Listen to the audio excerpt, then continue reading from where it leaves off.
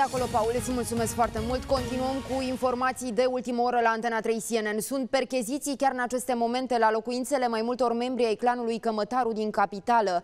Printre cei vizați se numără liderul Interlop, Marian Sârbu, zis Box și cântăreața Emi, care sunt acuzați că ar fi bătut și sequestrat două persoane împreună cu alți interlopi. Marian Sârbu este fostul bodyguard al lui Nuțu Cămătaru. Delia Bulgaru, colega mea, ne spune mai mult. Delia, te ascultăm despre ce percheziții vorbim, care sunt acuzațiile și uh, câte persoane ar putea fi aduse la audier. Vorbim și despre uh, cămătarii aceștia cunoscuți?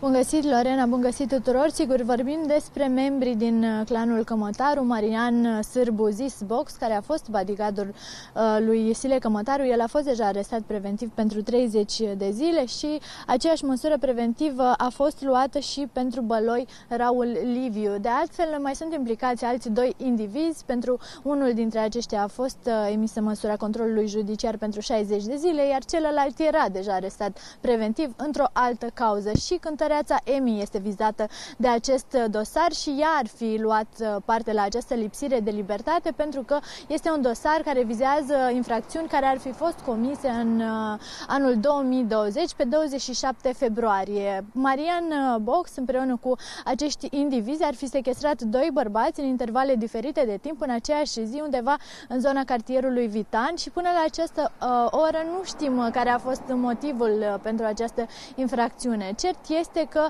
este un uh, dosar al Poliției Capitale și au avut loc în această cauză trei percheziții domiciliare